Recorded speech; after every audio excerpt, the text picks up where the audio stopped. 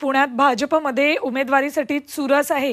माजी आमदार जगदीश मुळीक यांनी विजन डॉक्युमेंटच्या नावाखाली थेट निवडणुकीचा जाहीरनामा तयार करायला घेतलाय. याच अनुषंगानं पुणे शहराचा विकास आणि प्रश्नांचा वेध घेणारी विजन पुणे शिखर परिषद मुळीक फाउंडेशनच्या वतीनं आयोजित करण्यात आली होती. आमदार माधुरी मिसाळ महापालिका आयुक्त विक्रम कुमार पोलीस आयुक्त रितेश कुमार यांच्यासह विविध क्षेत्रातल्या तज्ज्ञांनी या परिषदेत आपापली मतं मांडली. विजन पुणे डॉक्युमेंटच्या निमित्तानं जगदीश मुळीक यांनी लोकसभेच्या उमेदवारीवर दावा केला असला तरी शहर भाजपने या संदर्भात सावध भूमिका घेतली.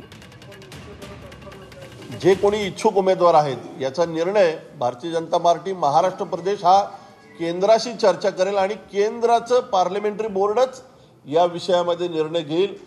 खाली भारतीय जनता पार्टी पुणे शहर किंवा अन्य कोणालाही या विषयामध्ये अधिकार नाही. हा केंद्रीय पार्लमेंटरी बोर्डाचा अधिकार आहे.